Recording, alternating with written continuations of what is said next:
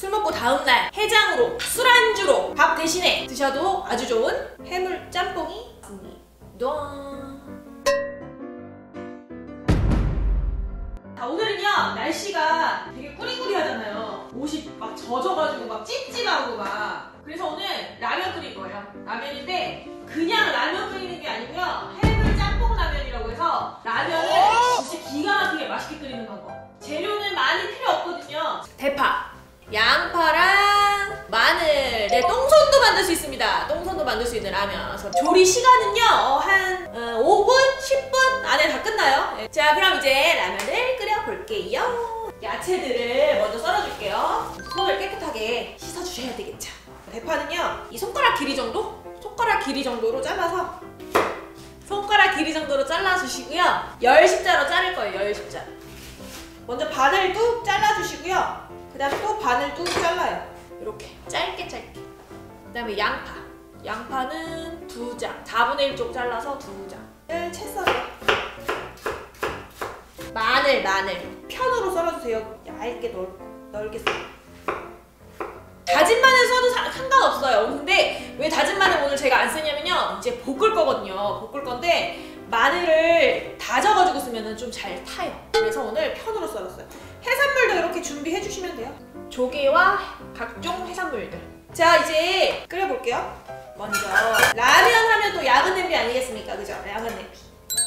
자 고추기름을 넣을 거예요. 고추기름. 고추기름을 넣어주세요.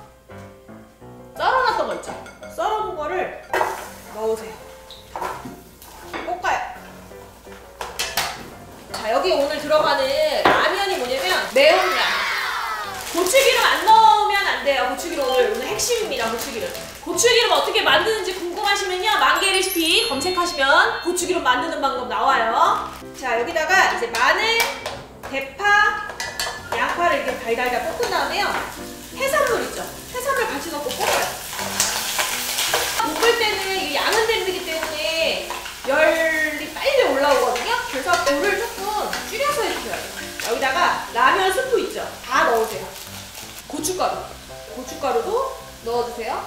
달달달 볶아요.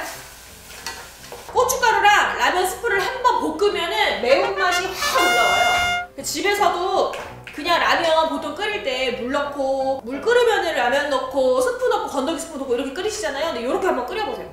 자 여기다가요 이제 물을 넣어줄 거예요. 물. 물은 종이컵으로 세 번. 하나, 자 두 컵, 자 세 컵 넣어주세요. 넣고요. 바글바글바글 끓여주세요. 프레이크. 자 라면 프레이크도 넣어주시고요. 프레이크 스푼. 바글바글바글 끓으면 그때 이제 라면 넣을 거예요. 자 물이 엄청 이제 용암 끓듯이 바글바글 끓기 시작했습니다. 대박. 라면 넣을게요. 이 라면 또 할 때 좀 들었다 놨다 해줘야 되죠, 그죠? 자, 라면은 꼬드리로. 이제 더 끓이면 안 돼요. 더 끓이면 맛이 없어요. 라면 끓.